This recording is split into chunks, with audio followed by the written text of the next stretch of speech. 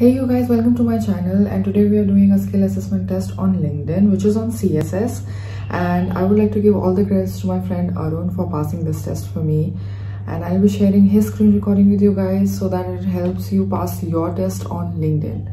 Thank you very much.